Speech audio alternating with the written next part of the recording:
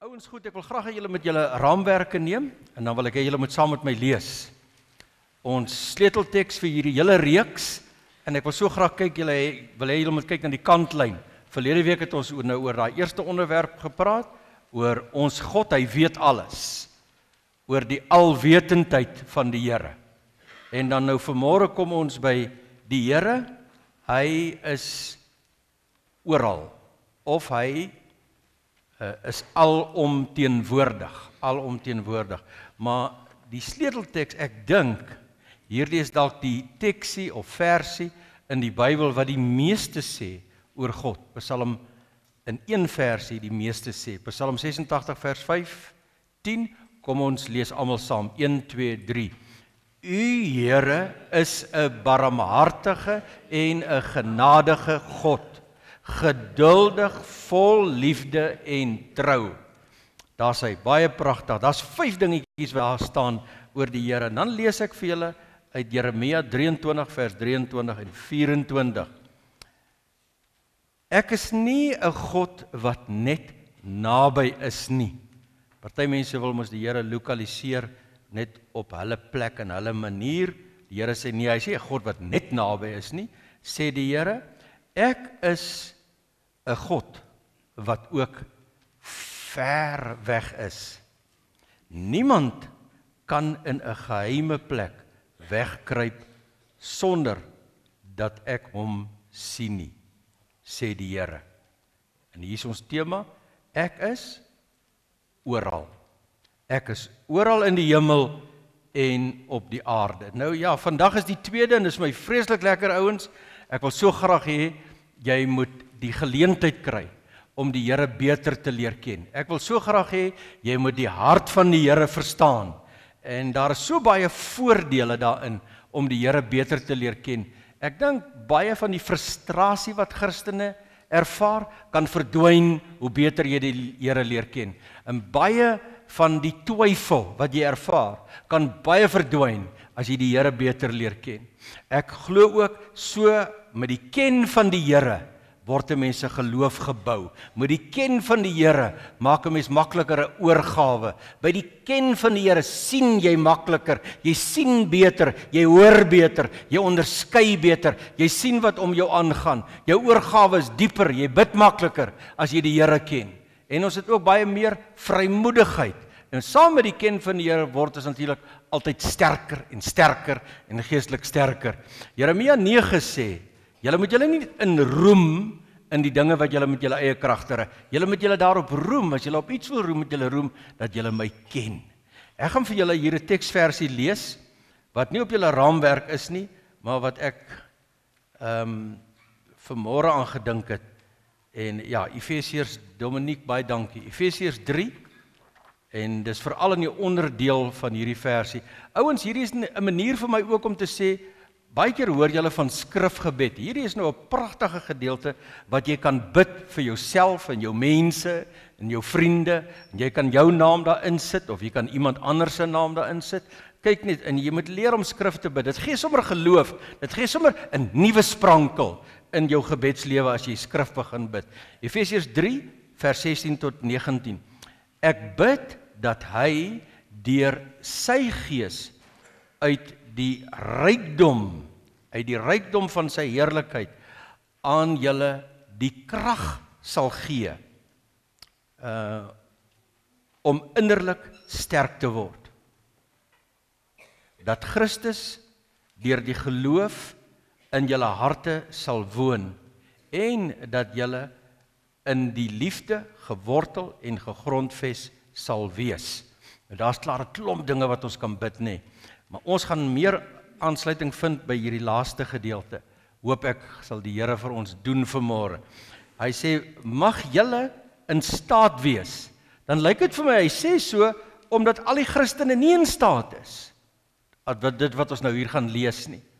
En ja, hy sê mag julle in staat wees om saam met al die gelowiges te begryp hoe wyd en hoe ver en hoe hoog en hoe diep die liefde van Christus trek. Mag julle, ouens luister mooi, mag julle sy liefde ken Liefde wat ons verstand te bowe gaan. En mag julle heeltemal, dan moet eintlik hy heeltemal omring. En sê Here, dis hoekom ek hier is vanmôre. Mag julle heeltemal vervul word met die volheid van God. In die naam van ons Here Jesus bid ons Here dat u woord nou hier sommer in ons midde, in ons eie harte sal vervul word in die naam van ons Here Jesus. Dankie Here. Amen. Breedweg in die breë kry mens miskien twee groepe Christenmense wat dalk 'n bietjie anders dink oor die Here. En dis nie te sê een van hulle is nie Christene nie, maar mens kry mense wat anders dink oor die Here. Jy sien party mense dink die Here is heeltemal anders. Hulle sien die Here se persoonlikheid en karakter asof hy heeltemal anders is en asof hy verhewe is en hy's 'n ver God en hy's baie heilig en hy's soewerein. Hy's onkenbaar. Hy's die regter wat kom oordeel. Ek het verlede week voor verlede week se boodskap het ek seker 14 verskillende ouens gelees. Toe hierdie week toe dink ek nee, wat hulle mors my tyd, die baie ouens. En ek het net omtrent 4 of 5 ouens gelees, maar weet julle wat kom ek agter as ek die ouens lees? Wanneer hulle dink oor God en hulle dink oor die eienskappe van die Here en die persoonlikheid van die Here en alles oor die Here dan is dit asof hierdie teoloë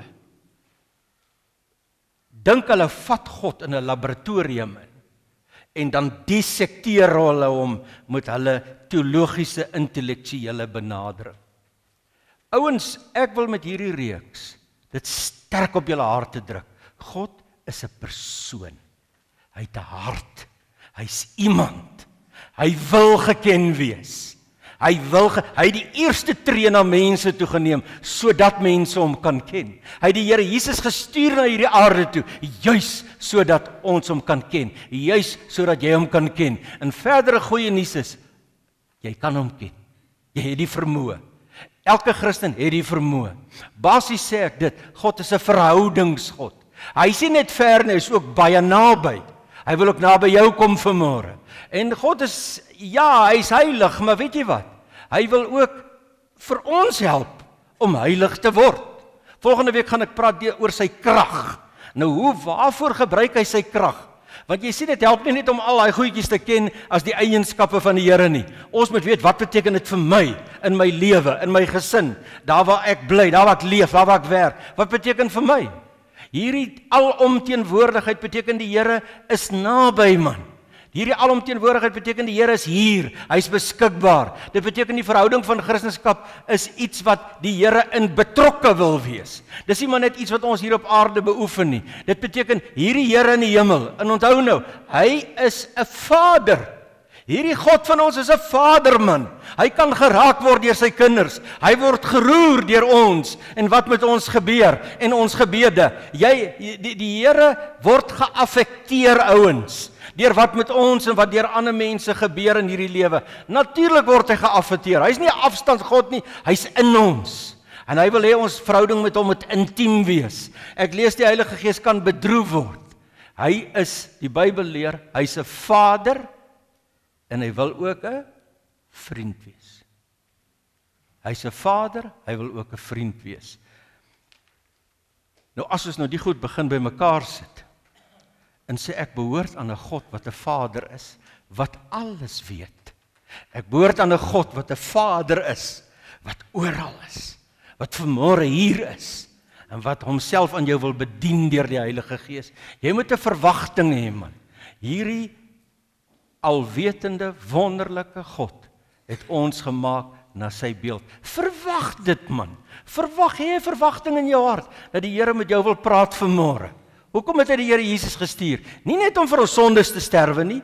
Dis wonderlik, prys die Here. Die kruis van die Here Jesus en die bloed van die Here Jesus het het klaar gespeel met ons sonde.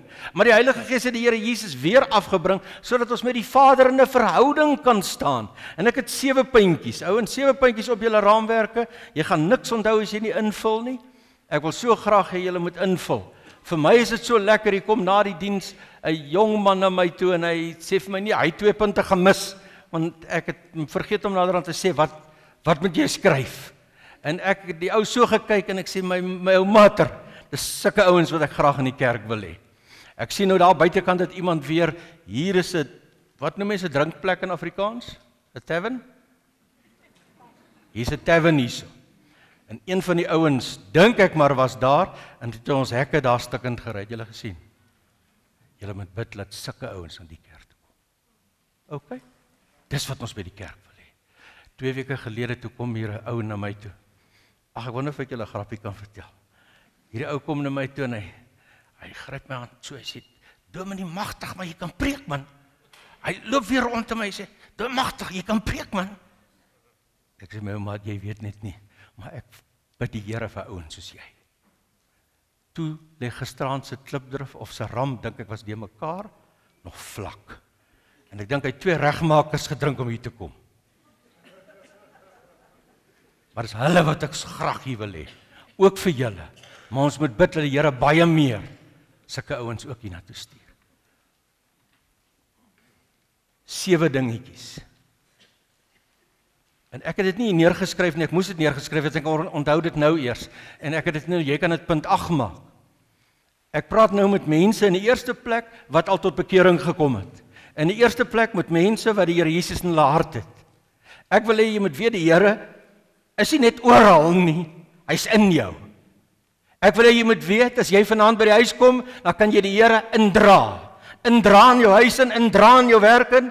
En daar's 'n goeie vriend van my wat altyd vir my gesê het, man, ons moet die Here indra in die teenwoordigheid van ander mense. Jy kan dit doen. Jy behoort dit te doen. Jy moet verwag dat die Here jou sal help. Sewe dingetjies wat ek wil hê julle moet net na mooi kyk, ouens. In nommer 1 sê, ehm um, as jy eensaam is, skryf in terwyl ek praat. As jy eensaam en verstote is, dan moet jy onthou. So as jy vanmôre sleg voel of jy voel dinge loop nie vir jou reg nie en daar's baie dinge wat wat teen jou is in die lewe en jy voel baie eensaam en jy voel voel baie verstote, dan kom die Here vanmôre helder en duidelik en hy wil vir jou sê Psalm 25 vers 16, dan bid bid die ou wat die Psalm geskryf het, hy sê sien my aan in genade aan. sien my in genade aan want u is ehm um, ek is eensaam en verstote. Here, ek is eensaam en verstote. Hoe voel jy vanmôre? En dis vir my lekker om vir jou te sê die Here weet van jou. Dis vir my lekker om vir jou te sê die Here is bekommerd oor jou. Dis vir my lekker om vir jou te sê man luister, die Here wil nie hê sy mense moet eensaam en verstote voel nie, want hy's 'n God wat daar is. En jy moet die vermoë ontwikkel en die sensitiwiteit ontwikkel om die Here te ervaar en te voel hier binne in jou. Die eerste keer in die Bybel wat daar iets staan oor die Here wat ontevrede was is Genesis 2 vers 18. En het gesien Adam is eensaam. Dit was nie vir die Here lekker nie. Dis nie vir die Here lekker dat Adam eensaam is nie.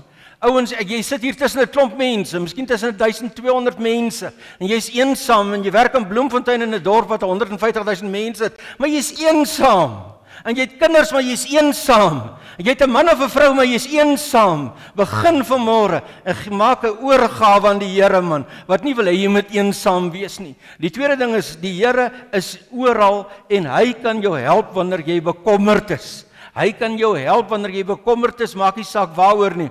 Kyk op julle raamwerke nommer 2. Ek wil vir julle een van die mooiste tekste in die hele Ou Testament lees en miskien in die hele Bybel. 'n Wonderlike teks, ouens. Die Here wil jou bedien met sy woord, man.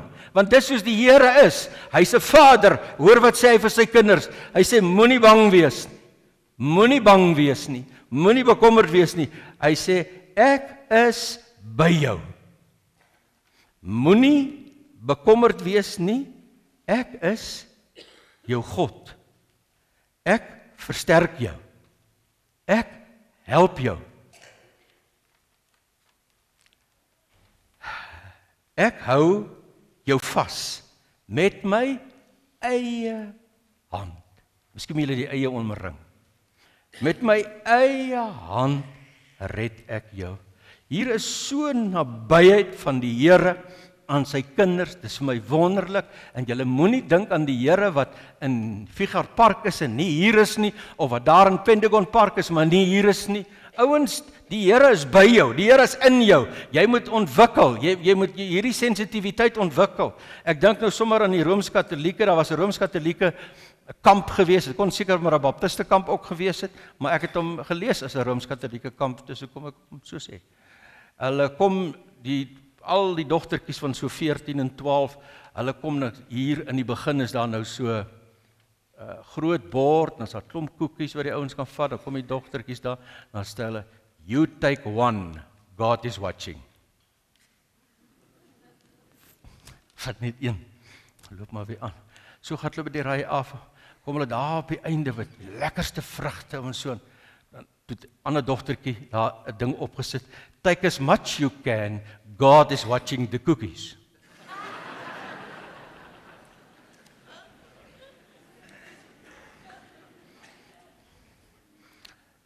kry kalmte. Kom na die Here toe, kry kalmte. By die Here is daar blydskap. Psalm 16 sê in sy teenwoordigheid is daar blydskap. Onthou julle ouens, ek wil julle herinner man. Psalm 23 vers 4 sê Al gaan jy deur donker dieptes, ek is by jou. Ek is saam met jou. Jy's geskape. Toe jy 'n kind van die Here geword het, toe die Here vir jou vermoë gegee om hom te ervaar. Hierdie radio wat daar staan. Hy kan syne opvang wat hier rond is in hierdie radio. Ek maar hierdie kansel kan nie. Wat jy die vermoë nie. Maar elke kind van die Here het die vermoë om God se woord te hoor. Kom ons gaan aan die derde een. Die Here is oral. Die Here is alomteenwoordig. Die wat beteken dit vir jou?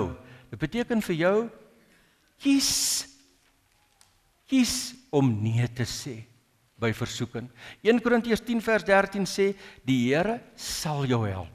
Ouens, dit beteken iets dat die Here alomteenwoordig is. Dit beteken iets vir jou dat die Here oral is. Dit beteken vir jou die Here sê jy moet vir hom kies. Maar die Here sê ook jy moet nee sê vir sonde. Jy kan nee sê. Hy sê hy sal jou help. Hy sal jou help sodat jy die versoekinge kan oorkom. Ek dink 'n versoeking is een van die wonderlikste maniere hoe ons die Here kan eer om te sê nee. Versoeking is een van die wonderlikste maniere om te begin groei deur te sê nee. Jy sien, dis uh, versoeking is 'n plek waar mens die Here kan eer. En dis wat die Here vanmôre vir jou wil sê. Nommer 4 nommer 4. O, hier's 'n mooi versie. Kom ek kyk net of ek hom vir julle sê. Kort versie, maar as jy nou moedeloos is. Ons op skool was dit die ouens gepraat van papwiele. En as daai tyd het ons baie fiets gery en is met die dik wiel en as die wiele pap is dan. Miskien voel jy soos iemand op 'n dik wiel wat se wiele pap is. Wat moet mens doen met 'n dik wiel wat se wiele pap is. Pom pom man. Pom pom. En as jy pap is, pomp jouself op met die Here man. 1 Samuel 30 vers 6 sê die ouens wil vir Dawid doodmaak. Hulle het hulle vrouens verloor, hulle kinders verloor deur Dawid se stories. Hulle wil hom doodmaak. Dan staan daar maar Dawid het homself bemoedig met die Here.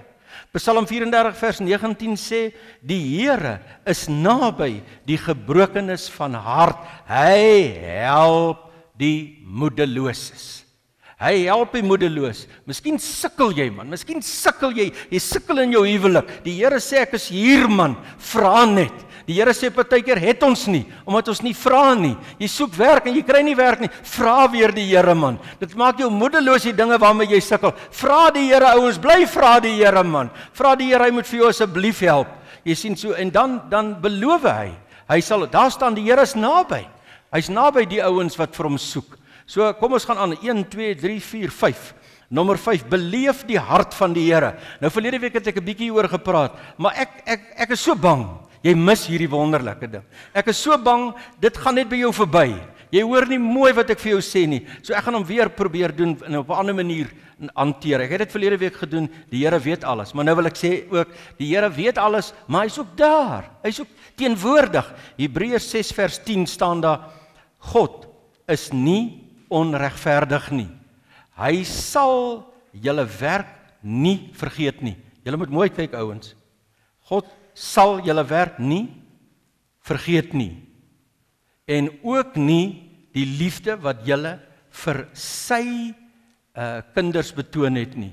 Deurdat julle uh hulle ehm um, deurdat julle die medegelowiges gedien het en nog steeds dien nie. Wat hier staan is eintlik die Here sê ek weet die Here sê hy weet wat kinders van die Here gelowiges vir ander gelowiges doen. Hy's ingelig. Nou wil ek vanmôre vir jou sê ou neem hierdie woord. Ek het vir jou 'n woord van die Here. Neem hierdie woord. Die Here weet wat jy doen vir sy mense. Ek wonder of 'n mens kan spekuleer oor wat is vir God die belangrikste. Ek dink dalk die Here Jesus. En na die Here Jesus, wat is vir die Here die belangrikste? Sy kinders. En die Here wil hier sê, hy sê ek wil vir jou sê vanmôre, dankie vir wat jy doen vir my kinders. Dankie wat jy gedoen het vir ander ouens wat aan die Here behoort. Die Here is 'n dankbare God man. Hy's 'n Vader wat bly is dat jy sy kinders help. Hoe voel jy as ander mense jou kinders help? So voel God as jy sy kinders help. Die Ou Testament is is amper 'n ver af God. Ou Testament is niks meer verkeerd nie, maar ons kan praat van progressiewe openbaring. Dis 'n heenwysing, dis 'n wegwyser na die volheid. Die die, die verhoogste gordyn is oop in die Nuwe Testament. God staan op die verhoog. Jesus sê as jy my gevat het en jy my ek is soos die Vader, ek is eintlik die Vader. Jy sien ouens, ek wil vanmôre vir julle sê, die Here is 'n iemand. God die Vader is iemand. Hy wil jou vriend wees. En God kom vanmôre en hy wil vir jou sê, hoor mooi, hy wil vir jou sê, ja. Hy het 'n ja woord vir jou vanmôre. En hy wil vir jou vanmôre kom sê, jy moet onthou, die keer wat jy ander mense vergewe het, waar hulle doelbewus en wetenlik hulle het geweet hulle doen sleg aan jou. Maar jy het vergewe. Here kom sê dankie. Ander ouens het jou geskel en jou gevloek en jy het niks gedoen nie. Here sê dankie. Jy het 'n klomp geld bygedra by die kerk. Of vir ander ouens gegee wat nie geld het nie, vir ander wat sukkel. Die Here sê dankie man, dankie vir wat jy doen. Hoor die woord van die Here ouens. Hoor hierdie God man. Hoor hierdie God. Wat sê Joshua? Kies julle.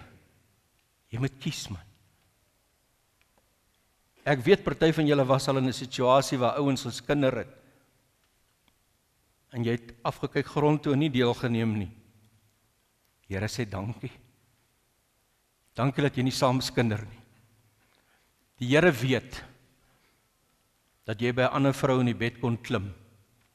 Niks sou verkeerd loop nie. Niemand sou weet nie.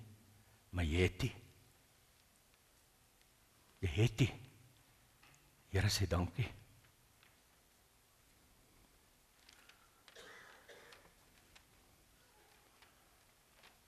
Ek het nou-nou oor geld gepraat.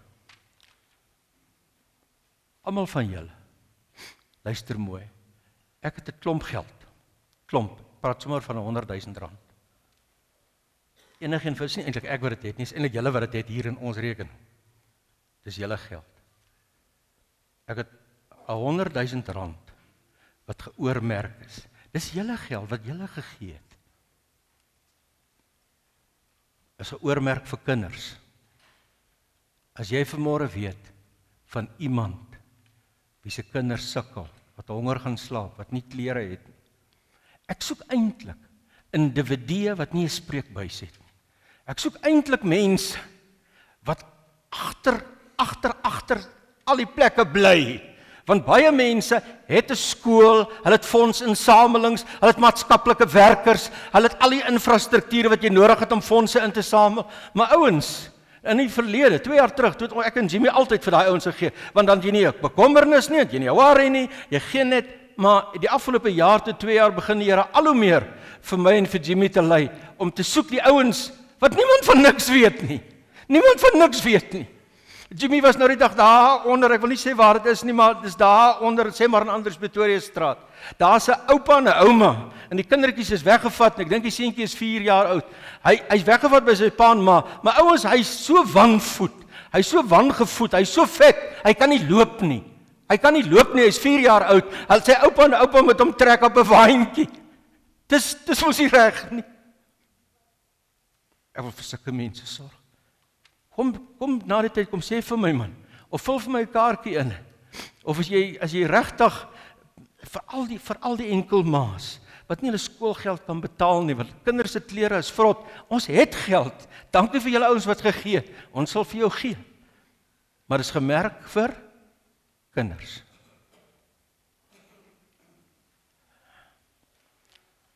Waar was ek nou gewees? Beleef God se hart. God word geroer deur sy mense hier op die aarde. En hy sê dankie vir jou. Nommer 6. En hier kom 'n baie ernstige ding. Ek wil julle moet mooi luister. Wees seker daarvan. Wees baie seker daarvan. Daar's sekere plekke wat God nie is. Hoor mooi. Ouens, daar's sekere plekke waar die Here nie is nie. As jy nog nooit jou hart oopgemaak het vir die Here nie, dan is hy nie in jou lewe nie. As hy nie in jou hart nie. Openbaring 3 vers 20 sê kyk ek staan en klop, jy moet oopmaak. Jy moet oopmaak en hierdie beginsel kry jy reg deur die Bybel. Jy moet oopmaak. Jy moet sê Here, ek het U nodig. Daar lê die groen kaartjies. Jy moet daai hele groen kaartjie bid man. Jy moet sê Here, ek het U nodig. Asseblief help my. Jy moet na die Here toe kom en vir die Here sê ek erken die Here Jesus het in my plek gesterwe. Ouens, die Here, hy weet alles, maar hy's ook oralster. Maar hy's dalk dalk nie in jou lewe nie. Ek onthou so en ek wil jou aanspoor hiermee man, ek onthou so asof dit gister was. Ek dink is 37 jaar gelede, 15 April 1979, een aand kwart oor 6. Toe buig ek my knie voor Here Jesus. Ouens, God was daar. God was net daar. Die dag toe ek weer gebore is, toe ek tot bekering gekom het. En jy? Ek wil iemand onthou. Hy het nie vergeet hoe jy tot bekering gekom het nie. Hy het nie vergeet dat jy gesê het Here Jesus asseblief nie. Jy hoef nie die ervaring te gehad het wat ek het nie. Dit gaan oor die Here Jesus. Dit gaan nie oor ervarings nie. Ouens, hy het gekom sodat ons aan die Vader kan behoort. Hy wil 'n verhouding met jou hê, ons God. Hy's oral. Hy's 'n verhoudingsgod.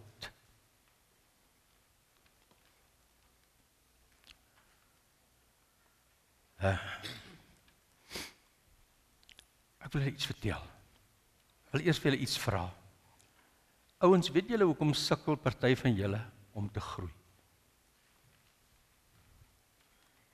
Hier's dalk baie van julle wat in die Here behoort, maar wat nie groei nie. Wat nie vorentoe gaan met die Here nie. Wat net soos 'n merry-go-round al in die rond, al in die rond te gaan. Hoekom? Ek weet. Jy skaam vir Jesus. Jy skaam vir Jesus.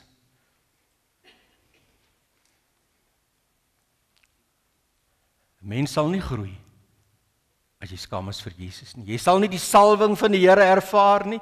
Jy sal nie die loslating van die genade van die Here in die teenwoordigheid van die Here ervaar. En dit wek geloof man. Dit wek oorgawe. Waar Jesus is, daar is God. Waar Jesus is, daar is God. Hoor wat ek sê ouens, bely sy naam, hy's daar. Bely sy naam, hy's daar. Ek het 'n wonderlike ding oorgekom verlede week. Verlede week was die rektor van die Baptistiese Teologiese Kweekskool was hier by my gewees en hy vra vir my of ek nie daar wil kom praat nie. Ek sê maar ek praat nêrens, ek praat hier. Ek word betaal vir hier. Ek praat nêrens. Hy sê Nee man, jy kan mos nou nie so sê nie. Dis ons 65ste verjaarsdag. Ek wil hê jy moet kom praat met al die ouens wat nou klaar gestudeer het. Jy gaan mos kweekskool toe en as jy daar kom, maak hulle van jou engeltjie. Dis 'n engelfabriek. Ja. Ek sê vir hom nee, hy wil nie kom nie. Die maandag toe bel ek hom, die dinsdag toe bel ek hom, toe sê ek, "Alraai, ek sal kom." Ek weet nie waaroor om te praat nie. Ek weet nie waaroor om te praat nie. En toe Ek dink is Vrydag toe ek hier weggery of Ek het een sinnetjie wat ek vir hulle wil sê. Vir al die ouens wat klaar maak met hulle. Moet jou nooit skaam as jy in die bediening is vir die Here Jesus nie. Ek het baie foute, maar ek skaam my nie vir die Here Jesus nie. Ek skaam my nie vir die kruis nie. Ek skaam my nie vir die bloed van die lam nie. Ouens, soek jy God, dan moet jy Jesus gryp. Soek jy die Vader, dan moet jy Jesus gryp. Jy sien is by hom. Dis by hom. Ek weet nie baie van die duiwel af nie. Dis baie mense wat baie meer weet van die duiwel. Ek weet baie min van die duiwel, maar ek weet van Jesus. Ek weet van die Here Jesus en ek weet hy is die vloekbreker. Ek weet die Here Jesus maak 'n mens vry. Hy maak 'n mens skoon. Ek onthou op Malalane die sataniste na die kerk toe gekom en ek het ene oggend gegaan by die kerk en ek het so gaan kniel by die deur. Sulke dubbel hou deure gehad. Klein kerkie man, so groot daai kapel. Klein kerk en ek het daar gestaan, ek het gebid en gesê Vader in die naam van Jesus, Here, ek weet niks van satanisme nie, maar hierdie kerk is u kerk, Here. Ek weet niks, maar pleit in die naam van Jesus dat die mense nie hier sal kom nie, Here, en dat die dat U hierdie plek sal beskerm, Here Jesus, help my. Hy sê helper. Hulle het een keer weer gekom. Vra vir Lien. Praat met Lien. Sy gesit en bewe in die kerk. Hulle is weg. Nooit weer gekom nie. Nooit weer. Sukkel jy met die duiwel? Gryp Jesus. Sukkel jy met sonde? Dat die bloed van die Here Jesus op jou kom. Sukkel jy met sonde? Sê die Vader, daar's 'n dingetjie in die Nuwe Testament wat sê Jesus in ons. Dis nou die opgestane Jesus vir die Heilige Gees ons harte indra. Ouens leer om die teenwoordigheid van die Here te beoefen. Leer om die woord, die teenwoordigheid van die Here te beoefen. Vra hom in jou lewe in man of vra hom weer in jou lewe in. Memoriseer tekste. Ek het al my lewe gedink ek ken baie tekste en ek het die laaste 10 jaar amper geen nuwe tekste gememoriseer nie. En dit is 'n groot fout.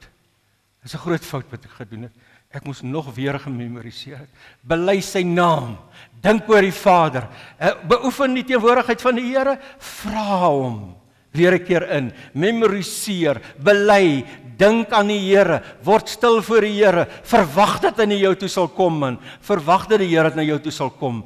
En na die diens, Jacques het gereël, na die diens dat daar mense sal wees by daai glashokke by die kamertjies. Dan gaan jy soontoe en sê bid net vir my man. Bring jou bring jou lewe en jou situasies net weer onder die teenwoordigheid van die Here ouens. Bring jou lewe onder die teenwoordigheid van die Here. Hier's te veel van julle wat te veel sukkel man. Hier's te veel van julle wat te veel sukkel ouens. Die Here Jesus het gekom sodat ons in oorgawe en in oorvloed kan lewe. Dis hoekom hy gekom het. Wat kan ek jou nog vertel van die Here Jesus? Wat wil jy nog weet voordat jy jou lewe totaal vir die Here oorgee? Hierdie Bybel gaan oor die Here Jesus. Hierdie Nuwe Testament is so vol van die Here Jesus. En hierdie is eintlik die verhoog van die hele Bybel. As jy hierdie Bybel vat en jy kyk so na Matteus, is Jesus die leeu Hy is die leeu, soek jy 'n leeu in jou lewe. Jesus Christus van Nasaret man. In Markus is hy die een wat ons kom dien het op die kruis. Hy's ons hy hy's hy's laag soos 'n dienaar, soos 'n diensknegt. In Lukas is hy die mens. Ek wil hê jy moet hierdie een inneem in jou lewe vanmôre man, wat aan al jou behoeftes kan voldoen. In al jou behoeftes. Kyk bietjie of jy 'n behoefte het wat ek noem wat jy nie kry nie. Kyk 'n bietjie. In in Lukas is hy die mens, die ware mens, die eintlike mens, die mens soos God hom beplan het en Jesus kan jou help dat jy daai mens word. In Johannes is hy die, hy's die ware God. Hy sê ek is Hy sê 10 keer, nie 7 keer nie. Hy sê 10 keer in Johannes, ego, ego eimi, ek ek is, ek ek is. Dis die ware God ouens. Sê 'n bietjie amen. Jesus Christus is die ware God. Julle moet nie die stories hoor wat julle glo oralster nie man. Julle moet nie glo wat aangaan in die wêreld waar die mense vir julle sê dat Jesus was maar net 'n ou goeie rabbietjie. Hy's die tweede persoon, hy's wesensmatig is hy God, deel van die godheid. So wat wil jy meer hê? Handelinge is hy die Heilige Gees. Die Here Jesus is in Romeine die genade van God en die regverdigmaking van God is ons Here Jesus. Korintiërs is ons heiligmaking. As jy wil heilig word, moet jy Jesus kry. As jy op die pad van heiligmaking wil wees, ouens dit help nie. Dit help nie jy gooi goedjies langs die pad weg, jy gooi jou sigarette weg, jy gooi jou goed weg, jy gooi jou goed. Dit help nie, jy moet Jesus kry. Jy moet die Here Jesus kry. Hoe meer mense die Here Jesus het, hoe meer heilig is jy, man. Dis dis heiligmaking. Hoe meer die Here Jesus kroon in jou lewe, hoe meer waar is ons nou by Korintiërs? By Galasiërs is hy die vrug van die Gees. By Efesiërs is hy die wapenrusting. Efesiërs is die Here Jesus die volle wapenrusting. Jy kan maar net sê Here Jesus, help my asseblief. Hy sal jou help met die duiwel. Jy sien? En dan gaan ons verder en ons sê die Here Jesus, ag kan ek maar sommer net sê. Voordat jy dink Jakob is grand om alles te onthou. Ek onthou alles. Ek sê bang jy kyk nou na my. Jy moet wegkyk van my af man. Jy moet net na Jesus kyk. Hebreërs 12 vers 2 sê, kom ons kyk na hom. Kom ons kyk na hom, ons kyk weg van die Satan, ons kyk na hom. Ons kyk weg van mense, ons kyk na die God mens. Ons kyk weg van ons eie sonde. Ons kyk waar sonde finaal gebreek is.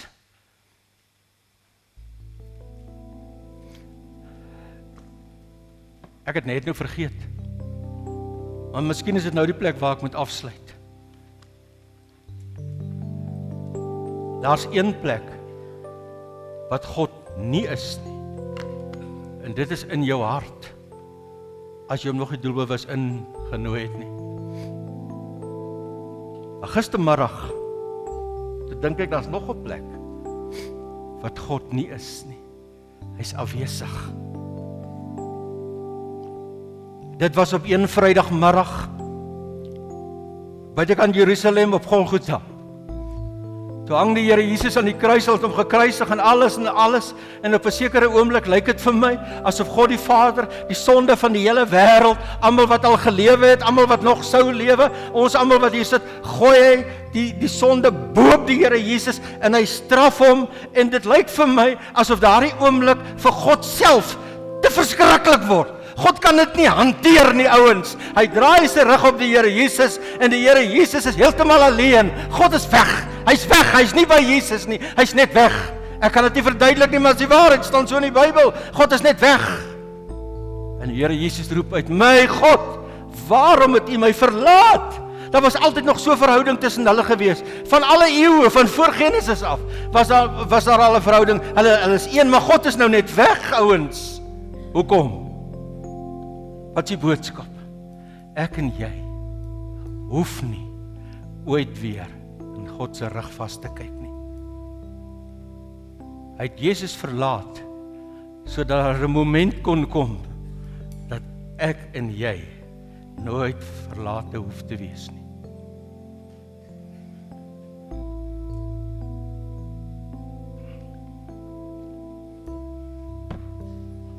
Ek staan hier met so 'n geel kaartjie en 'n groen kaartjie.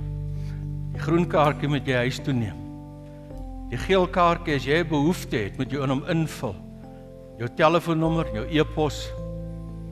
En jy's miskien skaam vanmôre om uit te kom, want ek gaan die ouens vra om na die glashokke toe te gaan. Dan vul jy vir my daai geel kaartjie in. Dan kontak ek jou in die week. Gooi hom ook vir my daarso. Dis hoekom hy spesifiek geel is. Dan sal ek jou kontak.